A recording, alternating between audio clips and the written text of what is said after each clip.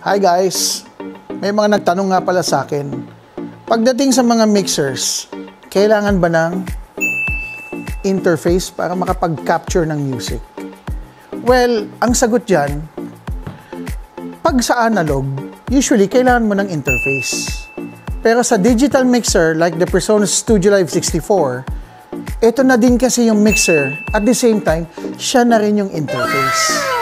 Ngayon, another question madali ba mag-record, mag-capture ng music pagdating sa mga digital mixer like this? Well, sa Studio Live 64, ito lang ang kailangan mo.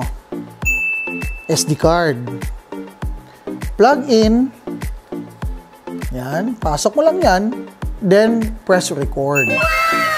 Ngayon, kung mahaba ang sessions na kailangan mo i-capture more than 4 hours, 5 hours, this is what you need. You need a computer. Then, ayan yung software na capture. Kasama na po sa mixer yan ng Presonus. All you have to do is pindot. Ayun. Recording na siya. Ganyan kadali, isang pindot lang. Then, makikita mo dito, hanggang 64 channel yung recording niya. Ganyan siya ka-powerful. Ayun.